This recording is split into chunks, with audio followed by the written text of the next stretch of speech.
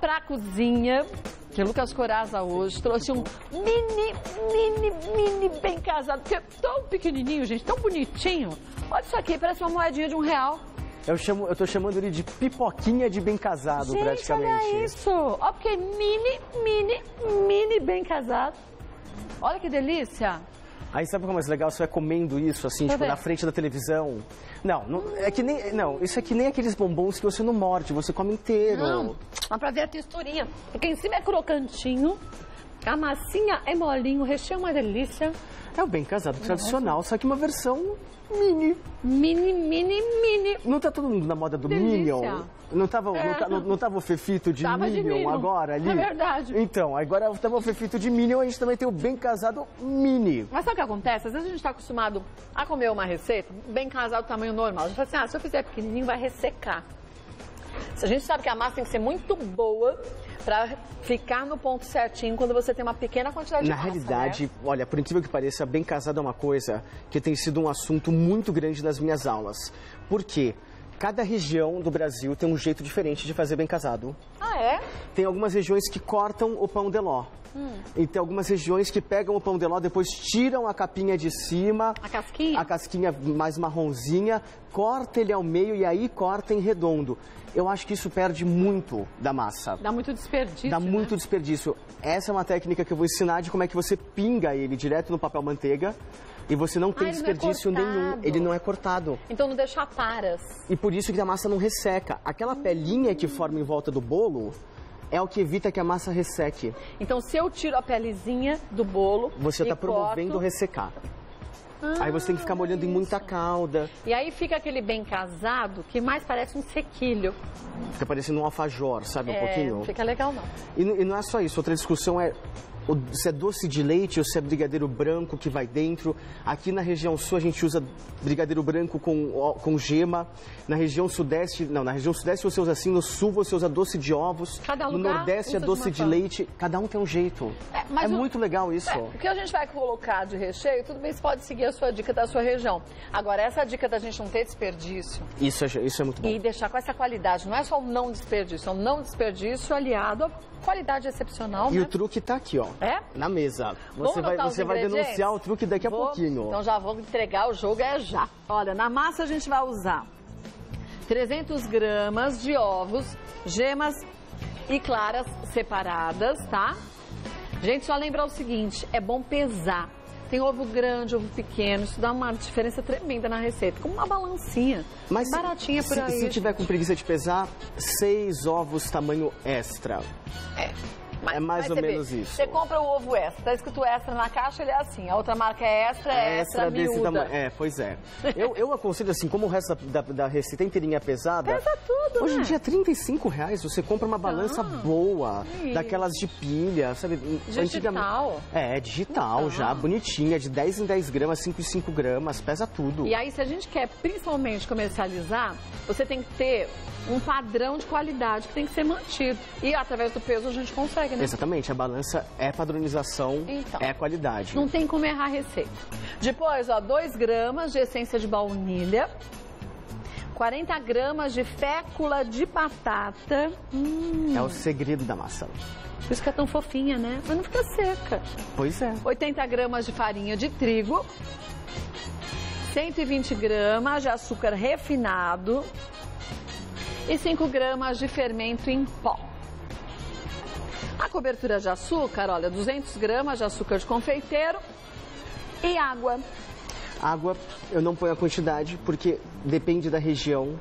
Tem sido 6 colheres de água, depende da região, tem sido 8 colheres de A gente água tem que entender no o porquê Brasil. desse conceito, né? Porque é muito úmido. Por exemplo, eu estava em Manaus a semana passada, a umidade era tão grande, 4 colheres d'água deram certo.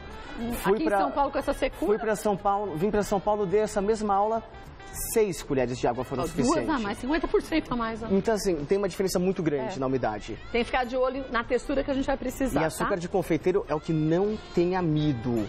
Não é é o o impalpável. impalpável, né? Não é o impalpável. Tá. Esse é o de confeiteiro. Depois, para o brigadeiro branco, que é o nosso recheio, a gente vai usar 400 gramas de leite condensado, 20 gramas de gemas, 20 gramas de manteiga, e 50 gramas de creme de leite sem soro. O HT, aquele de Tem de caixinha, caixinha, né? né? Pode ser o de latinha que vem com soro ou de Também, caixinha, né? mas aí tira o soro no de, no de latinha. Tá bom. O que, que você vai querer? Vamos Começar lá. por onde? Eu vou começar te dando trabalho já. Eu que eu tô faço com... brigadeiro. Eu, é, eu, Eu tô, com, eu tô com muita saudade de você. Já faz Muito tanto bem. tempo que eu não venho aqui. E eu gosto de fazer alguma coisa, a parada Aí não eu é falei, minha meu, praia, vou fazer, não. vou fazer a Kátia fazer Isso, alguma faz coisa. trabalhar ou dobrar. Ó, Isso mesmo. primeira dica que eu vou dar é sempre a seguinte: mistura fora do tudo fogo. fora do fogo.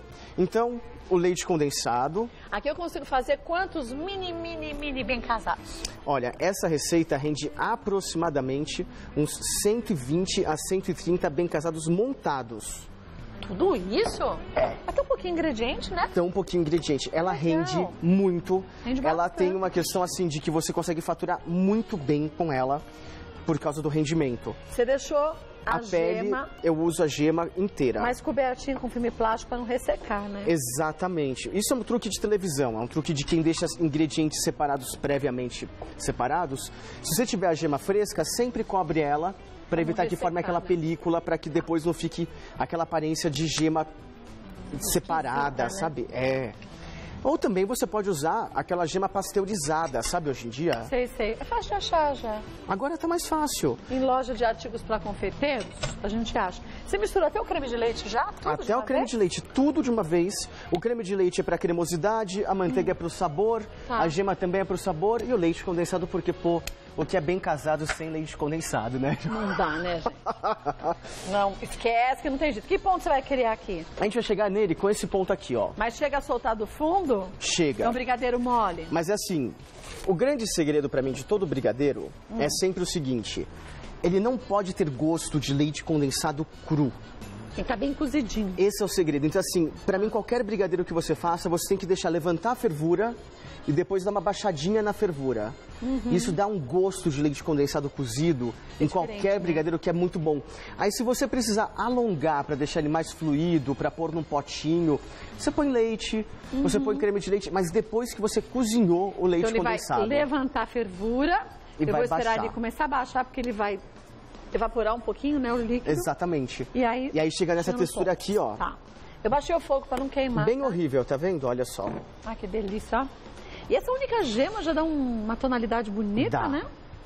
Você quer experimentar esse É, brigadeiro? obrigada. Eu tava achando que você não fosse me oferecer. Eu falei, ah, muito folgada, vai pedir. Não, Obrigada. imagina, não se, não se faz isso com uma dama como você, a gente oferece. Hum. Delícia. A uma gema não dá um sabor incrível? Sabe o que parece? Tem um pouquinho de leite de coco junto.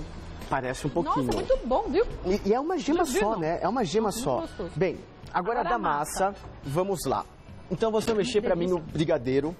E a massa eu deixei duas etapas já adiantadas. Tá, o que, que você já adiantou aí? Eu peguei os ovos e separei eles, certo? Uhum. Bati as gemas com o açúcar e deixei Gema ele de chegar açúcar. metade do açúcar da receita, tá? Tá. Até esse ponto, ó. Tá vendo que ele cai em fita? Tô, tô vendo. Essa, esse é o ponto da gema. E esse é o truque para a massa não desmontar. Tá. E em qualquer massa de Senão bolo, ela diminui demais e fica solada, né? em qualquer massa de bolo que você vai fazer na sua vida, aonde estão as gemas, a baunilha vai atrás. Pra tirar aquele gostinho de gema. Aonde a gema vai, a baunilha, baunilha vai atrás. Aí Então, fica fácil. já fica fácil de lembrar disso, porque antigamente. Você lembra que eu aprendi a cozinhar Hum. usando uma- uns fascículos de uma revista. E essa revista, quem escrevia era a Betina. Ah, eu lembro da Betina, maravilhosa. Você lembra da Betina? E ela Aqui- tinha eu essa tenho, coisa. Eu tenho essa revista, sabe como eu mandei fazer? Eu Eu, peguei, também. eu Um encadernei. fichário, eu tenho um Não, eu fichário. encadernei por escapadura. Não, gente, é um absurdo. Eu, eu aprendi a cozinhar com aquilo. Minha mãe colecionava aquilo. eu tenho um fichário até hoje com isso. Aliás, ó, um beijo, mãe. Ela pediu pra mandar um beijo pra Ô, ela. beijinho, Então, Emiliana, do um beijo pra você, Turquinha, que ela tá lá assistindo. E agora eu começo a misturar. Então, ó, e aí o- a outra parte Você eu bateu misturei. as claras em neve. E aí eu tenho um truque, Kátia. Que truque. Sabe quando você bate clara com antecedência e ela começa a desmontar também? Sora, começa né? a ficar líquida? Sei. Você faz o quê? Você, ao invés de bater a clara e adicionar o açúcar, você pega a outra metade de açúcar e já bate direto com a clara, desde o início. Olha como o merengue fica firme. E não dissora, né? E não diminui a clara. Ele não diminui a clara. Então você consegue ter uma clara cremosa, ó. Fácil de misturar. Uhum. Que não desmonta. E que não desmonta porque ela virou um merengue. Olha, deixa eu mostrar aqui. Aqui é o ponto que o Lucas falou que lá ia Foi. subir bastante. A gente continua mexendo e deixa aqui até que ela diminua. Ela baixa um pouquinho agora, né? Que inclusive ela já subiu, ela já diminuiu. Esse ponto já é ideal para você poder Aqui já rechear deu? um já. Olha lá. Só dá uma boa. Tá vendo? Quando acontece isso de dar uma leve, assim, porque o fogo é muito alto e a panela é fina. É, tinha que ser a panela mais grossa, Tem né? que ser uma panela mais grossa. Quando isso acontece de parecer que ele tá um pouquinho talhado por causa da gema, É só- você pega o fouet, dá uma Bate dos dois misturadinha lados, olha lá. e ele volta a ficar liso. Olha lá. Que é normal, ideal porque. Seria aquela panela de ferro até grossinha, não é? Sabe aquela alumínio com ferro? É. Aquela é boa, né? Não, tem que, ter- tem que dar uma cozinhadinha a mais agora. Ele- Só agora que a gente. mexer, tá? Só. Que daí a gente mostra que ele, ele, ele chega a meio que É, do fundo. Tá. Chega quase, quase lá. Quase, quase. Quase, quase lá. Então, ó, aqui eu tenho metade do açúcar batido com as gemas Tá. e a baunilha. Metade do açúcar batido com, as, as claras, claras. desde o início. Tá. A clara e o açúcar desde o início na batedeira ajuda a conferir essa cremosidade na clara e ela a não desmontar. Porque a Betina me ensinava, sempre falava, bata as claras e reserve. E a Betina sempre também falava para colocar Ah. a baunilha no final do preparo do bolo. É, antigamente você falava nisso, né? Não é? Verdade, e aí é. mudou, tipo, a gente, então a gente descobriu que ao invés de ficar tirando a película, aquela pele da, da gema, É só colocar a você baunilha coloca a baunilha junto com a gema e ela dá certo. Uhum. Agora eu vou juntar, ó, a farinha de trigo com o fermento em pó, Tá. a fécula de batata, Tudo que é quem confere essa, leve, essa leveza, essa Tá. umidade para esse preparo. Olha, acho que já deu, viu o que você acha? Já soltou do fundo. Ah, agora tá perfeito. Ó. Gente, Tá você vendo? é uma exímia mexedora Brigadeira. de brigadeiro, tá? Uma sou uma exímia brigadeira. brigadeira. Ó, e aí você sempre peneirando enquanto você mistura, Tá. você vai... Vai ficar gruminhos, né? Exatamente. Não precisa, ó. Vocês é um paninho A embaixo? gente põe o paninho embaixo, já ensina o truque Tá. pra pessoa poder fazer Vem em casa. sozinho. Ó, então vou batendo. E olha como é lento o meu E movimento. de baixo pra cima, né? E na aula eu fico fazendo Olha, isso que parece um mantra. Eu Mantra? falo, olha, de baixo para cima, do centro para fora. De baixo para cima, do centro para fora. Hum. Né? Eu fico fazendo esse mantra para as pessoas fixarem essa ideia. Então, ó, de baixo para cima e do centro para fora. Por quê? Você não quer desmontar a textura que você Pra fez baixar, né? com a clara e com a gema. A clara você só colocou um pouquinho aí, né? Eu coloquei um quarto da clara. O resto a gente vai agregar já. Porque agora, tá na moda, né? Esse, essa- esse lance de tudo, Tudo ser que é mini, né? Então, acho que o bem casado ele sempre ficou muito reservado pra mesa de lembrancinha De casamento, da- né? do casamento. Ou eu acho que nascimento, ele é uma coisa que podia ser reservada também pra mesa de doces.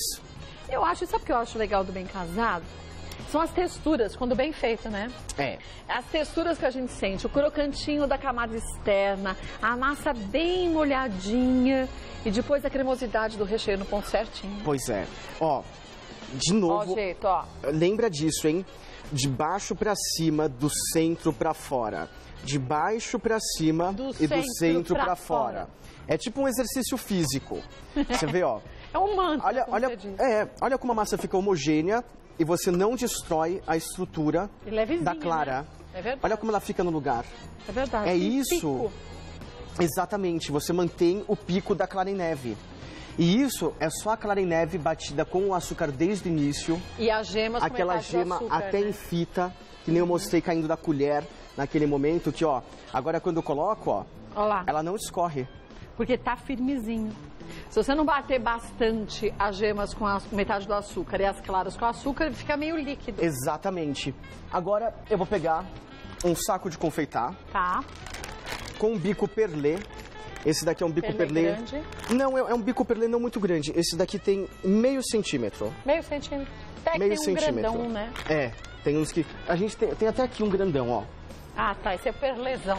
É o perlezão E o perlê. e o perlezinho, Olha lá. Tá. tá? Gente, já vai sair no formato certinho. Então não vai ter desperdício de massa. Eu sempre dobro bem- a manga, ó. Exatamente. E vai ficar bem úmido. O não ter desperdício de massa é muito importante. Eu sempre dobro a manga três vezes, tá? Tá. E para colocar a massa, eu torço aqui embaixo e Pra empurro pra dentro, Pra quê? Pra não vazar. Ah, Porque não tem aquele truque do pessoal que fica falando, coloca dentro de um copo, É. né, não sei o que lá. Desse jeito, ó, aqui tá grosso o suficiente pra apoiar a, o seu, a sua manga e você consegue raspar, ó, a espátula na manga mesmo, Ah, segurando legal. com a mão. O forno nesse ponto já tá aquecendo, né? O forno nesse ponto já tá a 160 graus, 170, Tá. não muito alto, tá? Tem que ser um forno mais, mais frio do que o 180 normal de casa, porque senão a massa tosta. E ela não pode ficar muito moreninha, senão resseca, né? Exatamente, porque ela já tem a fécula de batata, que automaticamente ela já confere um certo secor, né? Mas ela aumenta a validade do seu produto. Por isso que ela é muito importante. Tá, E a umidade vem depois da caldinha que a gente vai fazer do banho. pra colocar. Olha só que ah, prático. que prático. Agora que você desce com a massa. Ah, que luxo. Vou colocar a massa aqui pra Tá bom, trás vou tirar demonstrar para todo mundo.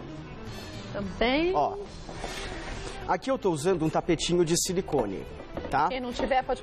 Eu vou, faz- eu vou fazer uma coisa, tá? Aqui, ó, É. em casa você vai assar desse jeito. Tá, a gente aparece só pra ficar mais fácil de mostrar? A gente, eu só vou Ou colocar, por é, não, eu vou colocar em cima da, da, Ah, da forma.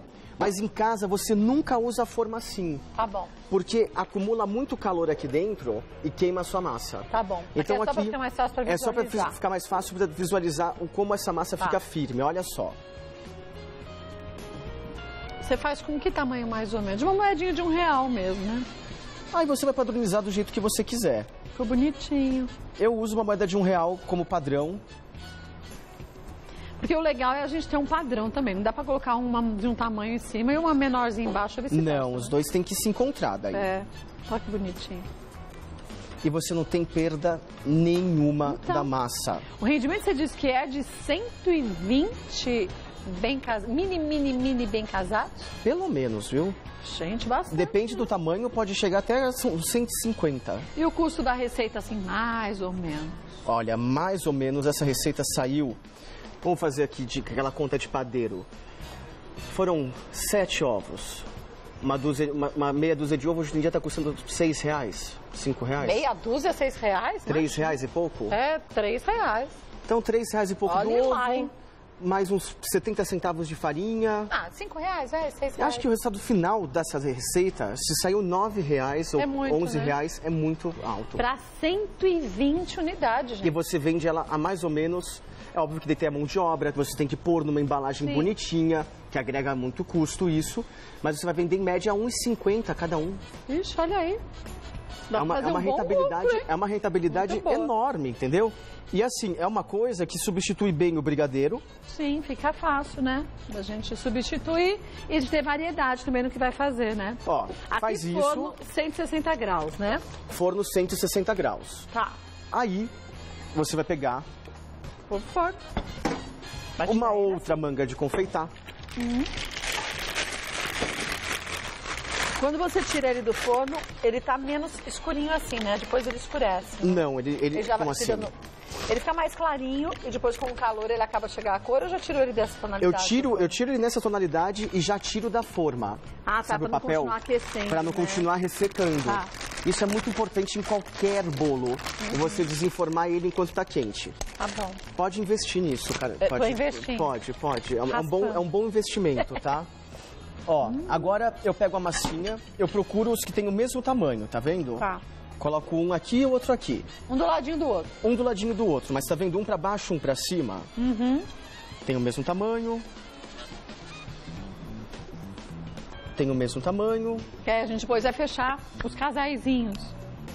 E Pronto. fecho ele, ó. Você não põe recheio demais, mas fica na medida, né? É porque pra algo desse tamanho... Não dá pra pôr muito, né? Ai, grudo na minha mão um pouquinho. Pronto. Que bonitinho. E fecho fazer ele. com quanto tempo de antecedência pra depois eu fazer a calda? Olha, pra rechear e fechar, Hum. um dia de, de- você faz no mesmo dia. Tá. A calda, eu aconselho você deixar pelo menos umas 5 a 6 horas ele depois escorrendo a calda. Ah, então é depois, não é antes. Ó, Olha, eu coloquei o que você recheou agora aqui, tá? Porque eu não sei se você vai usar. Eu não misturei. esses daí a gente deixa pra gente ficar gente comendo comer, né? enquanto a gente banha, né? Fechado. Como Ó. que você faz a calda? Ah, preciso dessa grelhinha. Uma grelha, Uma uma assadeira embaixo, Tá. tá? A calda é o açúcar de confeiteiro, que não é o impalpável, Tá. tá? Não é, o- não é o que tem amido de milho, é Uhum. o açúcar de confeiteiro. Se eu pudesse falar a marca, ela lembraria aquele termo de glacê, Sei, sei. mas Aquele junto lá, com açúcar. daquela empresa que é Bam Bam Bam também. Daquela empresa Bam Bam Bam que faz a força. Faz, muito mesmo. Aqui, Coloca então, que a água- que você vai ter que deixar nessa calda? Até ele ficar cremoso. Não pode ficar muito líquido. não pode ficar líquida. Muitas pessoas daí falam para mim, Lucas, mas não tem que aquecer essa calda? Se você aquecer, o que vai acontecer é que ela vai ficar mais mole e o seu bem casado vai ficar mais tempo para conseguir secar o açúcar. Ele vai dar uma encharcadinha. Tá. Eu não aconselho. Eu aconselho você a usar água potável, água mineral ou do filtro mesmo, né? Não a de torneira. Tá. E fazer ela ficar nesse ponto, ó. Espessa, como se fosse um fondant. Tá. É, parece um fondant mesmo. Você vê, ó. Olha lá. Não pode ficar muito líquido, hein, gente? Não pode ficar muito mais líquido do que isso, não. Tá. Porque eu acho que isso é o que dá pro bem casado uma qualidade enorme para ele. É, gente, na verdade, tudo isso aqui conta, né? Bater a gema direitinho, pra deixar bem altinho. A Cada passo é clara. importante, né? E aí, ó, eu vou usar um garfinho desses de banhar chocolate Chocolate. mesmo, Uhum. o triplo, e vou banhar ele, Ah, você mergulha ele mesmo. bato para tirar o excesso e deixo ele descansar aqui para escorrer. Quantas horas você falou aí? Umas 4 a 5 horas descansando aqui nessa grelha, Tá. mais ou menos, para ele ficar com uma casquinha bem crocante antes de você embalar. Gente, tem que ter a grelha, porque senão vai ficar um acúmulo embaixo e vai ficar tudo melado. Vai. E aí essa grelha, essa grelha hoje em dia, tem algumas pessoas que falam pra mim, ah, mas eu tenho substitutos. Poxa, você pode comprar uma peneira grossa daquelas de feira, é, é que já substitui bem.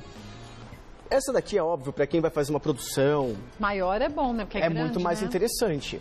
Mas o que é legal dela é o seguinte: teriam dois jeitos de você fazer. Ou você fazer ele assim, Hum. que é banhando mesmo, ou você pode até mesmo, ó, Colocar aí colocar aqui e glaçar eles, ó. E jogar essa caldinha por cima. E depois você vai tirando a calda de baixo E e, reaproveitando.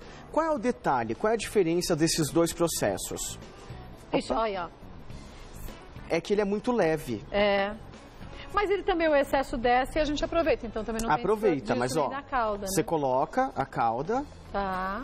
e aí depois você bate o excesso pra fora. Como assim bate? Ó, você colocou a calda e aí você bate Pra sair todo o excesso. Pra sair todo o excesso. E deixa o mesmo número de horas, porque aqui tá muito mais grossinho, parece. E embaixo não tem calda. Ah, então quando a gente vira assim, ele fica com caldinho de volta dele. Esse daqui é o que eu uso pra pôr no potinho. Esse daqui é o que eu usaria pra colocar, por exemplo, numa forminha de papel, tipo Ah, de tá. brigadeiro. Que não preciso ter ele todinho perfeitinho. Ele não precisa estar todinho porque ele vai ficar com esse ladinho pra cima. Tá. E ó, tá pronto. Quantas horas? 4 a 5 horas. Gente, se estiver num lugar que é muito úmido, fica de olho se, se secou bem, né? Pois é, se estiver num lugar muito seco, pode ser que seja menos tempo. Que São o Paulo, é, meia hora acho que seca. no final, o segredo, vamos lá pra então mesa. vamos. Vai, você vai ver o segredo qual é. O segredo qual é? Hum, depois. Eu ia puxar a cadeira pra você, Ah, você não desculpa, me deixa eu já mais. Puxei, eu esqueci. eu esqueci desse detalhe. Ah, eu tenho que ser Técnico. cavalheiro. Qual, qual a diferença que você falou? Não, o detalhe é, você tem que pegar Hum. ele, ele tem que estar crocante. Você pega ele, ele- a calda não suja Não. o seu dedo. Gente, ó. Olha a casquinha como ficou fininha, maravilhosa. Não é muito bom isso? Não. Bem casado é uma coisa que eu acho que eu é pegava. apelido. Olha. Eu pegava tipo 17, 20 no final do casamento, enchia os bolsos do, do paletó. E essa embalagem assim, é muito bonitinha, né? Pra comercializar, gente. Olha. Ela não é muito cara essa embalagem, inclusive. Não, né? Deixa eu mostrar, ó. O Lucas coloca etiquetinha. Tem que caprichar, uma fitinha bonitinha, gente. Ó, que lindo. Eu coloquei essa fita mais comprida até pra compor aqui com o pratinho, Tá pra lindo, ficar né? com. Né, Esse tipo de Arrasou. louça, pra esse tipo de apresentação, Hum. também é muito legal. De você ter esse lance do finger food, da pessoa poder pegar uma porçãozinha E já levar, né? num chá de bebê, numa festa de despedida de solteira mais comportada. Olha, mas vou te falar uma coisa. É, eu gostei do Marcos se comportar. Isso aqui, gente, vai vender como você nunca imaginou, mas capricha. Pois é. Não faz nada de qualquer jeito. Se faz de qualquer jeito, melhor não fazer. E se você tiver com preguiça, você não tá com vontade de fazer o bem casado, você pode ir lá no meu truck, que fica Ah, lá no Butantã truck? Food, Pa- no Ah, Butantã tá Food Park. Ah, óbvio que eu tô. Ele é meu ponto de venda, minha loja. É que você viaja no- tanto que eu falei, vai que ele tá com um truck Ah, viajando não. também, né? Não, eu viajo só com as aulas. A semana que vem eu vou estar em Salvador ainda. Salvador, semana que vem? Semana que vem no Bazar do Walter. Nesse sábado eu vou estar numa feira especial no Iguatemi de Campinas. Então. Campinas, ó, fica atento.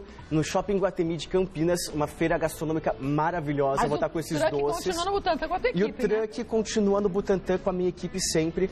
E com essa pipoquinha de bem casados Ai, agora gente, aqui, vendendo ó. lá. É um absurdo. Faz uma receita inteira que tu vai comer tudo. Vai. Como a gente acha nas redes sociais Ah, é. também? Se quiser me achar na rede social, é só você me achar no Instagram, arroba chefe Lucas Coraza. E no Facebook, chefe Lucas Coraza também. É fácil de me encontrar. Olha, vê se não demora pra voltar. Haja saudade. Que eu só vejo você Oh. viajando por esse Brasil todo, vindo aqui, Eu ó, que é vou. bom. Eu tô que nem a galinha daquela marca que tá fazendo de norte a sul, de leste a oeste. Pior é que tá mesmo, mas isso é bom. Beijo, sucesso Um beijo, sempre, Kátia. viu? Que delícia de bem casado. Faça que você vai adorar.